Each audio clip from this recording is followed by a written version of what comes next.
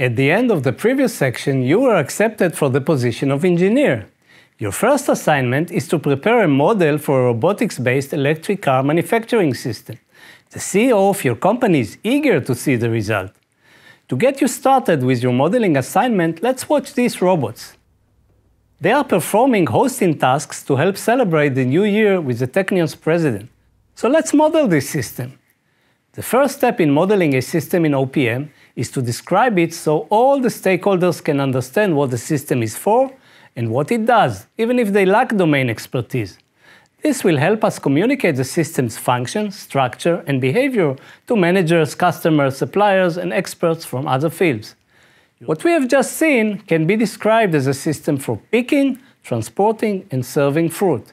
In OPM, the overall description of the system is expressed in the first OPD we create, called the System Diagram, or SD for short.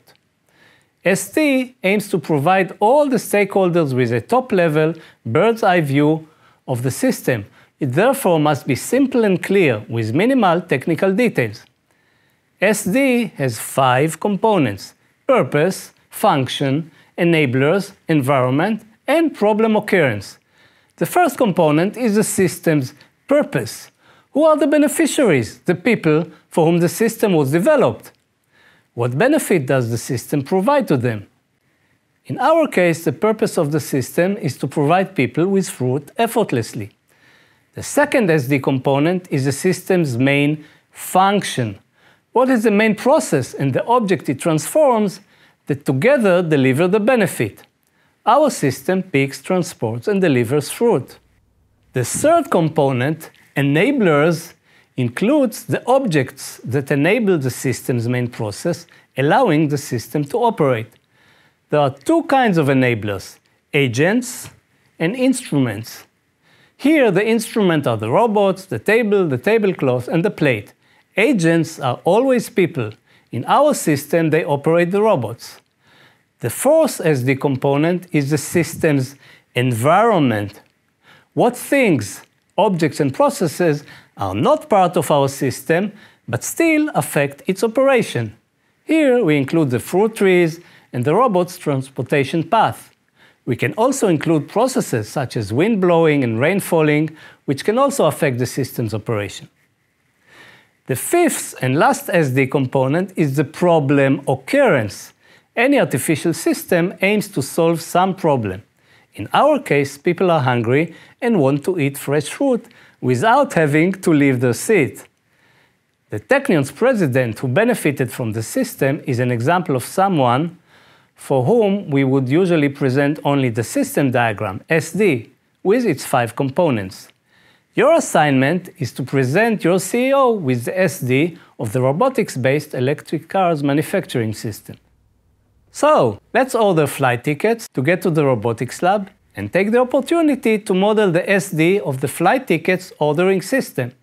Unlike the system we modeled before, which was physical, this system is informatical, as it focuses on ordering flight tickets rather than actually flying. The system's website allows us to easily and quickly find and order flight tickets. The system's purpose is thus to shorten travelers' time and improve their convenience of finding flights and ordering tickets. The function of the system is to change the status of a seat in a flight from available to purchased. The enablers include the agent of the main process, the traveler, and the instrument, the website. The environment includes internet connection, which is also an instrument of the main process. Finally, the problem this system solves is the difficulty of finding flights and ordering tickets.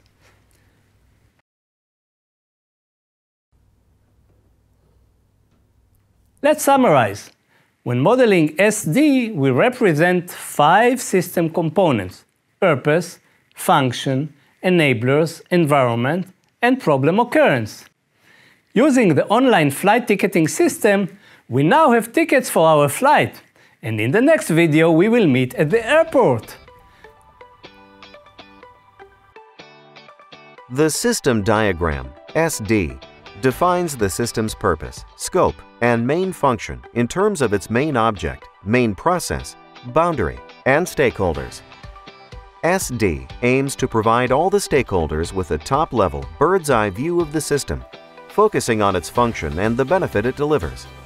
It therefore must be simple and clear, with minimal technical details.